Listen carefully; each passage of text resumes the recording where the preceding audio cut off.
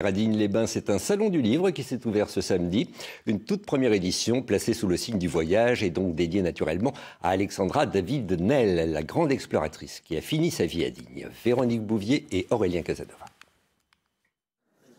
Sous le regard attentif de la papesse du voyage, Alexandra Davinel, un salon où les ouvrages présentés invitent à bouger, se tourner vers les autres, aller voir sur la rive d'en face. Ce n'est pas cette aventurière écrivaine qui dira le contraire. Il y a beaucoup de choses euh, différentes à dire. Moi, ce qui m'a intéressé, c'est deux angles qui sont euh, les femmes et le thé, donc deux angles différents. Mais euh, oui, hein, je pense que c'était difficile de faire un premier salon du livre à Digne sur un autre thème, puisque vous avez quand même une figure majeure du voyage qui est Alexandra Navinel. Donc oui.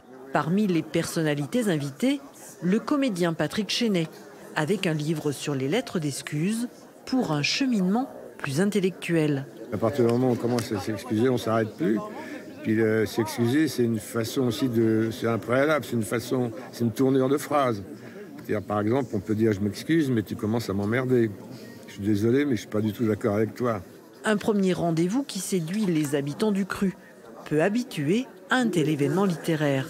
C'est une bonne chose. Euh, Preding, c'est une petite ville, donc c'est bien si on s'ouvre à d'autres, euh, à d'autres horizons, on va dire. C'est sympa. Bah, le fait que ce soit dédicacé, c'est encore c'est plus sympa encore que d'acheter un livre en librairie. Pour mes enfants, en fait, euh, voilà, c'est euh, pour leur faire découvrir des, auteurs qui sont venus euh, au salon du livre et leur faire partager l'univers de, de la lecture. Voyager pour vivre, pour découvrir des périples depuis son salon ou son jardin, avec toujours un bon bouquin, et contrairement à ce que prétend ce titre facétieux, on ne lira jamais assez.